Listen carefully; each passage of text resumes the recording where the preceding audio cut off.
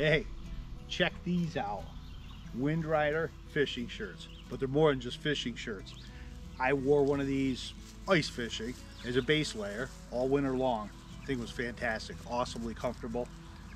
I wear them hiking, I wear them every day, everyday use.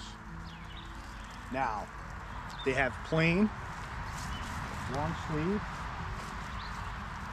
mesh sides for ventilation. They're super cool in the summertime. It's like I'm not even wearing a shirt right now. UPF 50 sun protection, so you're not gonna get sunburn wearing one of these. There's models like this, like all these actually, that have a hood and a built-in neck gaiter. There's also a model, which I do not have here, that has thumb holes, so you can do that whole thumb thing like that. And it has a pocket, a zippered pocket in the back section right here. So you can put sunglasses, uh, a box of flies, whatever.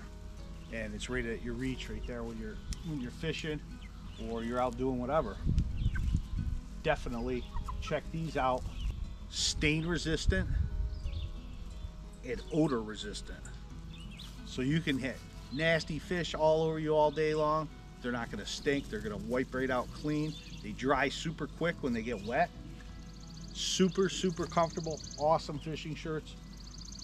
Highly recommended, especially the ones with my logo on them.